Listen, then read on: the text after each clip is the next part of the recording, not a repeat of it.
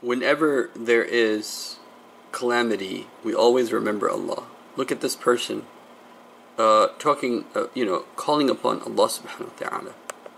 شاء الله تبارك الله ما شاء الله سيارات مصقعة يمين يسار هذه طلعة الهبوط See this? اليوم 22 Now, the 5440 point I want to make here is this is when it actually started, the flood. This is when it actually started. Now, I'm going to make some very important points today.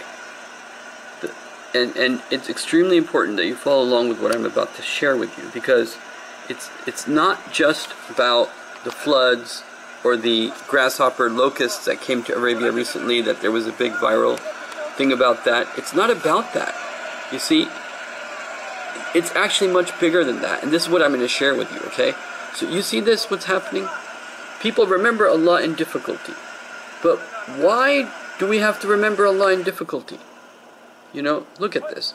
This this flood took away cars, it took away camels, right? It was quite an amazing scene. But I'm going to share with you something. By the end of this video, you will be like, "Oh, yeah, you're right." Uh, you know, everybody is fearful when they see calamity of any sort, whether it's, you know, it looks like there's an onslaught of insects or floods, and you're definitely going to learn something very interesting today, inshallah. If you just stick with me, inshallah, just for a few minutes, I'm not going to waste anyone's time. I'm going to make my points very, very quickly, inshallah. Look at this. Look at this. Okay? And you get the point, right? You get the point. All right? It is it is just horrible. When calamity comes, we remember Allah. Look at this. Look at this car. So, the first thing I want to share with you, inshallah, is that uh, I'll come back to this in a second actually. Uh, you know, floods in Arabia, we know that, right? And I'll just go over some cl clips about that very quickly. Um, you'll you also remember very much this person that had the insects and that became a big deal. Again, it looks like a calamity of some sort, right? And so because it looks like a calamity of some sort, then what happens? We uh, we panic and we think about Allah subhanahu wa ta'ala when there's difficulty. Now, I want you to consider this, right? The floods, 12 people killed. Uh, and there is just a little bit more before I get to the main point I want to make. Uh, you know, 300 people rescued, right? 12 killed.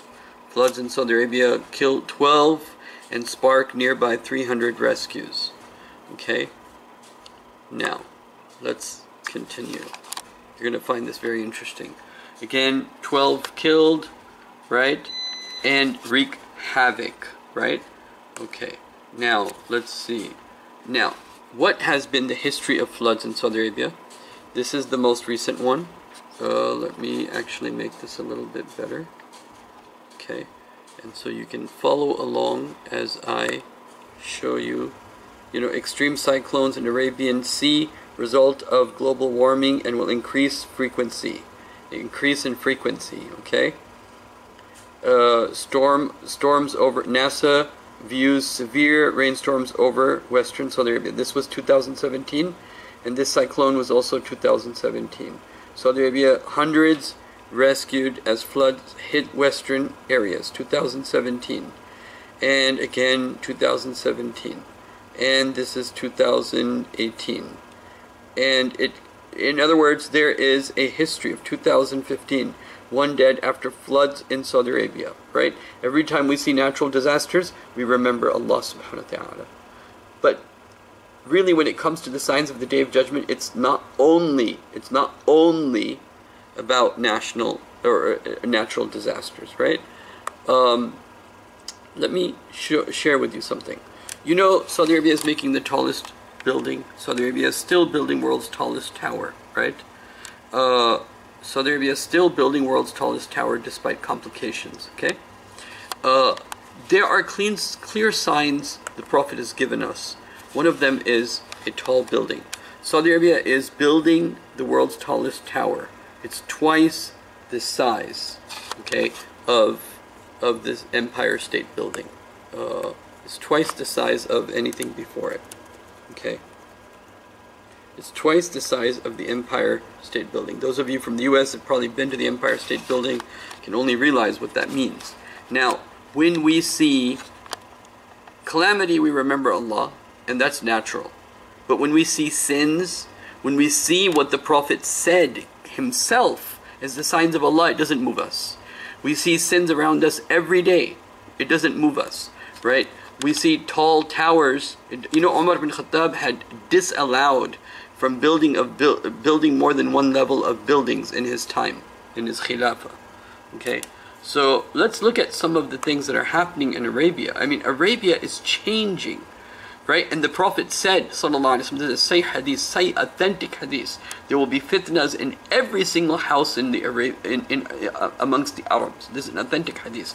Saudi Arabia is still building world's tallest tower. Okay, that doesn't come to our mind, right? That maybe you know that's a sign of the day of judgment. That doesn't scare us.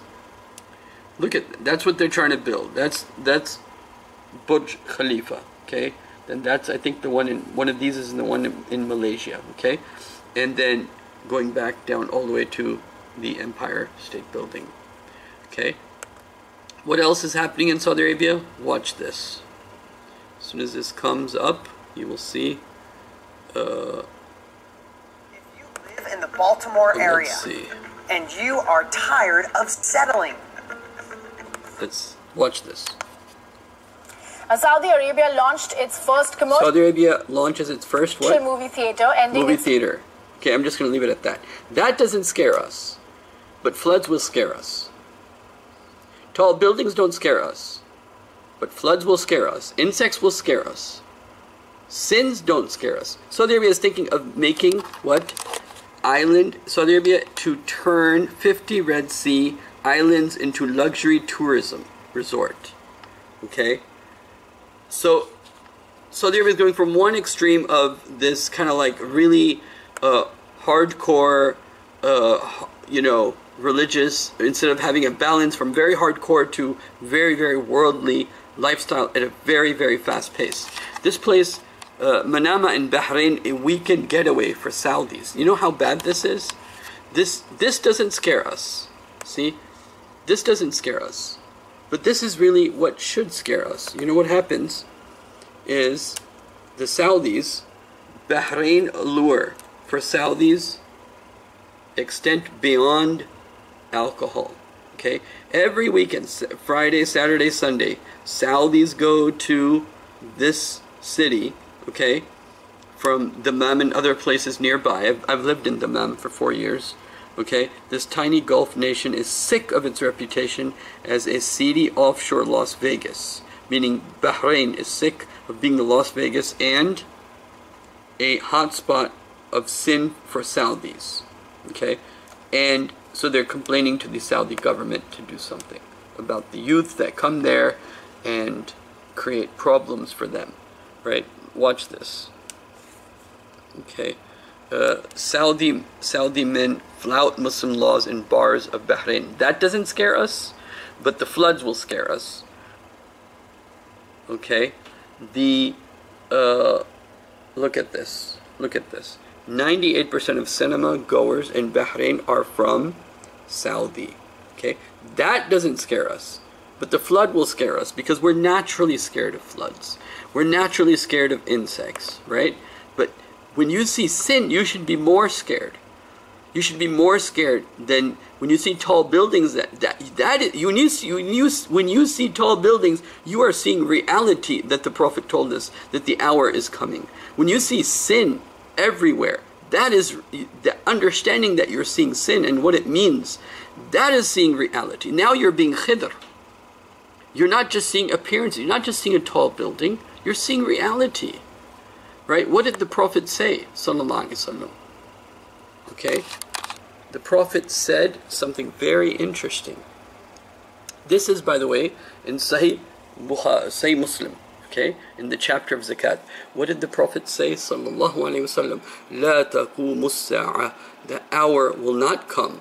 حتى يكثر المال until the wealth is increased ويفيض uh, ويفيض and s- and and it is overflowing حتى until يخرج رجل بالزكاة ماله a man will go out with his zakat his wealth فلا يجد أحد he won't find anyone but how this is very important because this is something you can only understand in the modern times فلا يجد أحد يقبلها منه who will accept it you know who will accept who will accept the mel- wealth from him hand to hand he won't because when you're rich you only know the rich you don't even know the poor you can't even find the poor right you ask people like Donald Trump or these princesses in Saudi Arabia, do you know any poor person? Do you happen to know any poor person?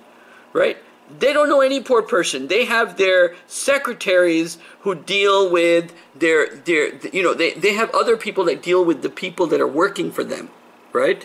فلا يجد أحد يقبل منه. They can't they'll find stuff on the internet, but they can't find a person person to person. فلا يقبل منه أحد. And then another miracle. حتى تعود الأرض until the earth comes back to a state أرض العرب the of the Arabs marujan. Okay, it becomes meadows, wal anhar, and rivers. And Saudi Arabia is changing very, very quickly in this regard. I want to show, show you something very interesting, which will explain to you some of the things that are happening in Arabia. Okay, so uh, the, this is the first one, inshallah, once I can show this to you. Arabia was once a lush paradise of grass and woodlands. Okay, so this is BBC. Okay, and then there was another report, and, and there's been a lot of studies how this affected things like evolution and stuff from their perspective and everything. Did you know? Uh, did you know the Arabian desert used to be a green jungle? So this is what the Prophet said, Sallallahu Alaihi Wasallam, Sadiqul Masduq, who told us there would be tall buildings, who told us that Arabia would become green again. Now you see what NASA says. This is NASA, okay? Features green, Saudi green, okay? And what it is basically saying, NASA sees NASA sees fields of green spring up in Saudi Arabia, right? Saudi Arabia is drilling for a resource possibly more precious than oil, etc., etc. But Saudi Arabia is becoming green, okay? And Saudi Arabia, in the process of this greenery, will. So these are the pictures. I'm not going to go into it right now, but these are the pictures, okay? That na- that are on the NASA website regarding this.